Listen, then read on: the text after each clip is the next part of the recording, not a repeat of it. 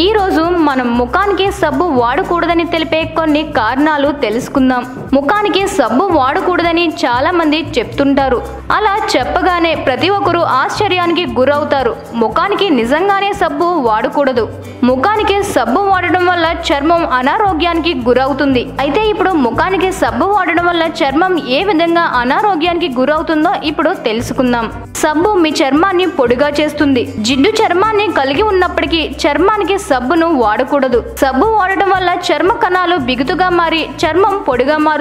ఈ చర్మానికి సబ్బు వాడడం వల్ల చర్మం నిర్జీవంగా అలసిపోయినట్లుగా మారి ముడతలు కూడా ఏర్పడతాయి. చర్మానికి హాని కలిగించే ఉత్పత్తుల్లో సబ్బు కూడా ఒకటి. మన చర్మం బ్యారియర్లు ఆమ్లాలతో తయారై ఉంటాయి.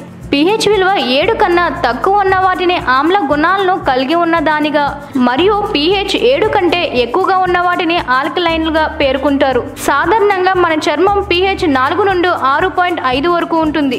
జిడ్డుగా ఉండే చర్మం అయినా సరే పిహెచ్ ఇదే స్థాయిలో ఉంటుంది. కానీ సబ్బు యొక్క పిహెచ్ పూర్తిగా వ్యతిరేకం. సబ్బు పిహెచ్ ఆల్కలైన్ గుణాలను కలిగి ఉంటుంది. ఈ విధంగా ఆల్కలైన్ గుణాలను కలిగి ఉండే సబ్బును ఆమ్ల గుణాలను కలిగి ఉండే చర్మానికి వాడటం వలన చర్మం ప్రమాదానికి గురయ్యే అవకాశం ఉంది. కావున చర్మం ఆరోగ్యంగా ఉండడానికి సబ్బును వాడకండి. సబ్బులన్నీ ఒకే విధంగా ఉంటాయి. చర్మ రకానికి తగిన విధమైన సబ్బులుండవు. రసాయనికాలను కలిగి ఉండే సబ్బు శరీర చర్మంపై ఉన్న దుమ్ము ధూళి కణాలను తొలగిస్తుంది. కానీ ఈ రసాయనాలు ముఖంపై ఉండే మృదువైన చర్మ ఆరోగ్యాన్ని పాడు చేస్తాయి కావున ముఖ చర్మానికి సహజ ఔషధాలను వాడటం మంచిది. మార్కెట్లో లభించే నూతన ఆల్ట్రా మాయిశ్చరైజర్ సబ్బులను వాడే ముందు మీ డాక్టర్ని కలిసి తగిన సలహాలు తీసుకోండి. మీ చర్మాన్ని మృదువుగా మరియు ఆరోగ్యంగా ఉంచి అందంగా కనపడేలా చేసే ప్రోడక్ట్స్ని మాత్రమే ఉపయోగించండి.